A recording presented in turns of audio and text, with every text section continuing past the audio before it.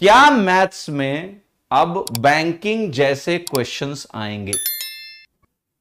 Right तो देखो banking के एग्ज़ाम को अगर थोड़ा सा, देखो, एक चीज़ तो बहुत क्लियर है कि ये जो स्टेप लिया गया, वो क्यों लिया गया? ये स्टेप कहीं ना कहीं सीईटी की एक्सेप्टेबिलिटी के लिए ही लिया गया है। कि सीईटी एग्ज़ाम प्रपोज्ड है तो उसके लिए कहीं ना कहीं एसएससी को भी बोला गया होगा बैंक वालों को भी बोला गया होगा कि भाई बताओ कि कैसे कॉमन ग्राउंड तैयार करें सीईटी इंप्लीमेंट करने के लिए। तो उसी दिशा में कमेटी उमेटी जो बनी होगी एसएससी के भीतर, उन्होंने कहा होगा कि इस तरह का पैटर्न रखते हैं। प्रिलिम्स को टीयर वन क्वालिफाइंग बनाते हैं, बच्चा थोड़ा यूज़ टू हो जाए तो मान लिया आगे चल के सीईटी लगा देंगे। तो उस दिशा का ये पहला कदम ज़रूर है। तो ये ज़रूर इन्फ्लुएंस है कहीं ना कहीं कि जो सीईटी आगे आने वाला है, जिसमें बैंक और एसएससी का एक कॉमन एंट्रेंस होगा, वो क्वालिफाइंग होगा। फिर आपके ये टीयर टू के एग्ज़ाम अलग अलग लेंगे, वगैरह वगैरह तो उससे इन्फ्लुएंस्ड डिसीज़न हो सकता है। बट ये कह देना कि ये बैंकिंग जैसा पेपर आएगा, ये बहुत अर्ली जजमेंट है, पहली बात। दूसरा, अगर तीस सवाल आते हैं एग्ज़ाम में थर्टी क्वेश्चन आते हैं तो थर्टी क्वेश्चन में हर टॉपिक को अब पाँच पाँच सवाल नहीं मिलने वाले हैं मीन्स में। क्लियर हो गया? भाई मैथ्स में जो टॉपिक्स है, वही भी इससे ऊपर है। और ऊपर में स्टैटिस्टिक्स और प्रोबेबिलिटी भी आपने डाल दी, ठीक है? डीआईपीआई का सवाल पूछ ही लेते हैं तो कुल मिला के हर टॉपिक से एक एक सवाल आएगा, ऐसे कर लो एक एक सवाल आएगा। तो वो सवाल अच्छे आने की उम्मीद ज़रूर है, ठीक है? और आपको एक सवाल करने के लिए एक मिनट का एवरेज टाइम है, एक मिनट का आपको एवरेज टाइम मिलेगा, और एक मिनट का एवरेज टाइम अगर मैथ्स का कोई भी सवाल लेट से मॉडरेट लेवल का है तो वो चैलेंजिंग टाइम है, सवाल पढ़ना, फिर सवाल को करना। एक मिनट में करके खत्म कर लेना। एक मॉडरेट लेवल के क्वेश्चन में टाइम लगता है। तो एग्ज़ाम में मैथ्स और रीजनिंग का सेक्शन चैलेंजेस पोज करेगा। लेट्स इवेलुएट दिस क्योंकि एक तो नेगेटिव मार्किंग का चक्कर है माइनस वन थर्ड तो वो एक एक एक माइंडसेट आपको बनाना पड़ेगा कि आप बहुत ज़्यादा रिस्क नहीं ले सकते हो माइनस वन थर्ड में। ठीक है? बहुत ज़्यादा, एक एक नंबर मैटर करेंगे आपके, बहुत ज़्यादा मैटर करेंगे। तो लेट्स नॉट टेक रिस्क तो आपको एक्यूरेट रहना है तो क्वेश्चन जो तीस सवाल आएँगे, वो तीस सवालों में चैलेंजेस हो सकते हैं बट ऐसा भी नहीं मान के चलना कि सारे तीस सवाल बड़े खतरनाक आ जाएँगे और आपसे कुछ होगा नहीं। एसएससी की मैथ्स जो है, आप कॉम्प्रेंसिवली पढ़ते आए हो तो मुझे नहीं लगता है कि ये सेक्शन बहुत ज़्यादा चैलेंजेस पोज करेगा बट थोड़ा सा सरप्राइजेस के लिए आपको रेडी रहना होगा, ठीक है? कि वो जो तीस सवाल है सिलेबस देखो बेटा बिल्कुल सेम है स्टैटिस्टिक्स प्रोबेबिलिटी आ गई, वो हम अलग से पढ़ा देंगे आपको तो वो पढ़ा देंगे। उसके बाद का सिलेबस सब कुछ सेम है। अगर सारा सिलेबस आपका सेम है तो जो क्वेश्चंस हैं, वो डेफिनेटली थोड़े डिफरेंट तरीके से पूछ अब जैसे कई सारी चीज़ें हैं जो हमें समझने की आवश्यकता है।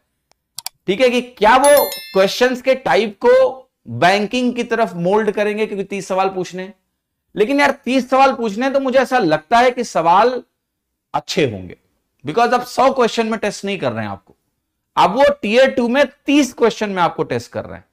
तो अगर तीस क्वेश्चन में टेस्ट कर रहे हैं तो नेचुरली क्वेश्चन अच्छे पूछे जाने की उम्मीद है कि वो जो सौ क्वेश्चन को कंडेंस करके अगर तीस ही क्वेश्चन आपसे पूछा जा रहा है तो वो तीस क्वेश्चन अच्छे हो सकते हैं। बट मुझे नहीं लगता उसके लिए डरने की ज़रूरत है। आप आप एसएससी में काफ़ी वाइड लेवल की तैयारी करते थे, ठीक है?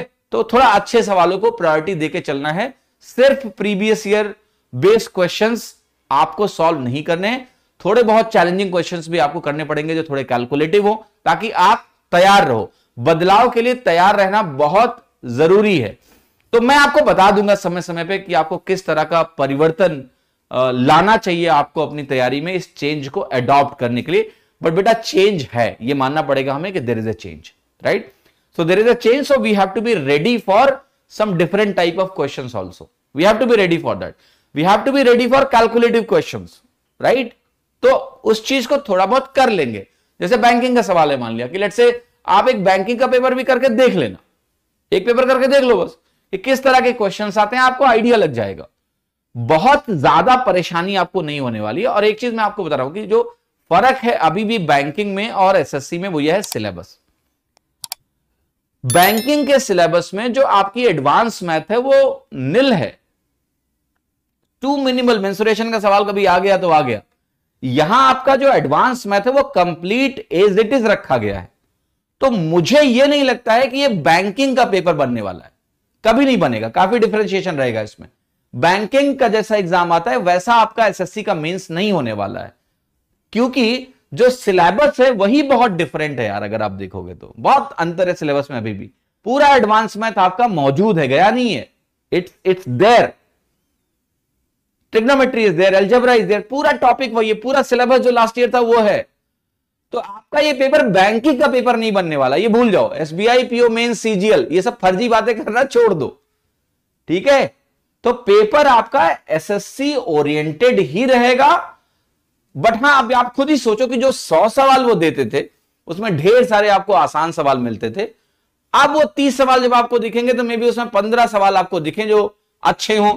और पंद्रह सवाल इजी टू मॉडरेट दिखे आपको। तो ये चीज़ है जो थोड़ा चैलेंज पोच कर सकती है। आपको पेपर को करने के तरीके में बदलाव लाना पड़ेगा। तैयारी में ऐसा नहीं है कि आपको बहुत ज़्यादा चेंज करना है।